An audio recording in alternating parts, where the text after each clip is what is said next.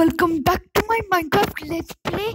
And today we will be getting wood, and this is going to be epic. So enjoy the Let's Play.